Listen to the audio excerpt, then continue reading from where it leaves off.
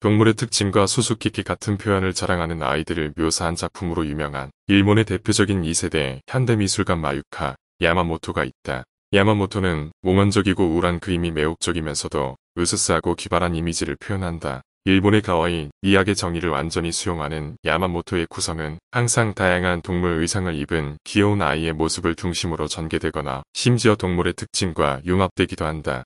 그녀의 작업은 어린 시절의 사랑스러운 추억에 대한 그리움이며 nostalgia적 성격이 담겨 있다. animal suit는 환상이며 도피의 속성을 가지며 동물 옷을 입은 아이들은 수수께끼 같은 얼굴 표정으로 보는 사람에게 미스터리로 작용한다. 무표정한 아이들은 부드럽고 차분한 색조로 칠해진 미묘한 설정과 병치되어 그들의 진정한 감정 및 심리적 상태를 속이는 다른 차원의 평온함과 낯설은 아우라를 발산한다. 그녀는 동물 의상을 입거나 동물이 되는 아이의 그림을 그린 지 20년이 되었고 계속해서 아이디어 탐구를 한다.